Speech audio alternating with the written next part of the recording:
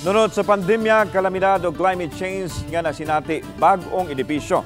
Alang sa Lapu-Lapu City Disaster Risk Reduction and Management Office, sugda na sa pagpabarog karong tuiga. Si Luan Merondina sa report. I will render my service Ang 27 ka mga bagong personnel sa Lapu-Lapu City Disaster Risk Reduction and Management Office. Human sa duha ka buwan og tunga nga pagpaubos kanila sa Emergency Response Training Course, andam na silang moresponde sa nagkadiang mga emerhensiya. Matod ni Najel Banyasha, officer in charge, moabot na sa 150 tanan ang mga personnel sa Lapu-Lapu City Disaster Risk Reduction and Management Office apan sagad kanila pulos mga job order personnel.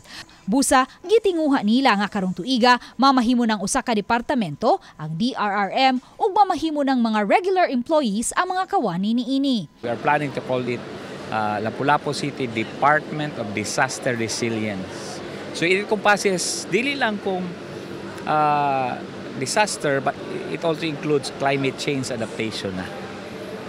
So Department of Disaster Resilience. But uh, i-propose pa na council. Samtang karong tuiga usab, gitinguha sa lokal nga kagamhanan nga mapabarog ang bagong edipisyo nga okupahan sa mga taga DRRM, Lapu-Lapu City Fire District ug CTMS. 50 milyones pesos ang gigahin sa dakbayan alang sa first phase ni ini.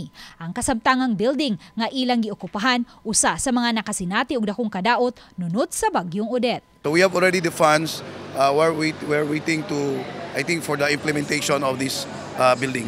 Asa ta na lang ay sa design, no? Kay giusab nato ang design sa building, uh, regeneration nga siya nga uh, design. What do you mean by that? Uh, we will catch the rain. Then then uh, some of the features of the building di na kayo mo gamit og kuryente.